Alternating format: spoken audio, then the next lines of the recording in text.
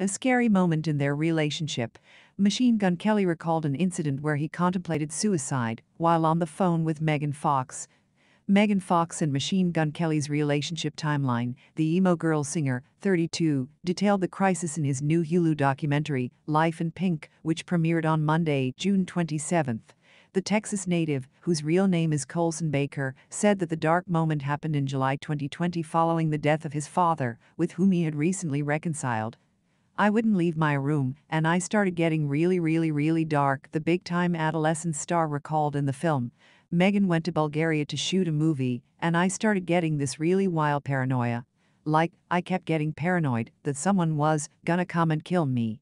The Paper Cuts rapper went on to say that he always slept with a shotgun near his bed, but that day, he just f-king snapped.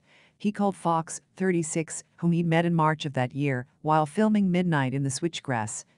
I was like, you aren't here for me. I'm in my room and I'm, like, freaking out on her, Kelly recalled. Dude, I put the shotgun in my mouth.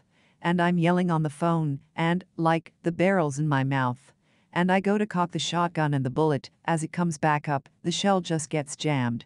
Megan's, like, dead silent. Stars who have battled mental health issues, the Billboard Music Award winner said that the moment made him realize that something is not right. The Jennifer's Body star and Kelly's daughter, Casie, 12, intervened and helped him figure out that he needed to make a change. They said, I want to, like, see you as my father, and I want to see you as my husband to be, and I was like, I need to kick the drugs for real this time, the Bloody Valentine musician said. He did not specify whether he was using drugs during the incident. Later that year,